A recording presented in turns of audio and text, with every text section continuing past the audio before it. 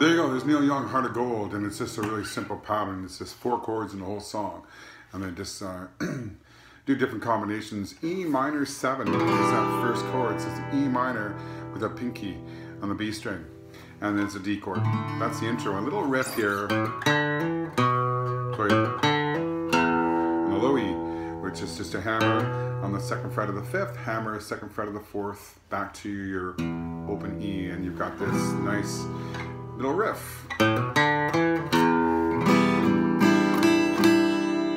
And when you come back from the D, you just go back to regular E minor chord. Um, I like to kind of jazz it up a bit. Some hammers and pulls, and, and when I'm doing the verse part, you'll see that I'm doing some hammers in that C chord. And it's just, you know, Neil Young really taught me how to play guitar. I listened to him a lot. And he taught me a bunch of stuff. So there you go. Heart of Gold, Neil Young, Jam with JR. Uh, don't forget to like and subscribe. Thanks so much.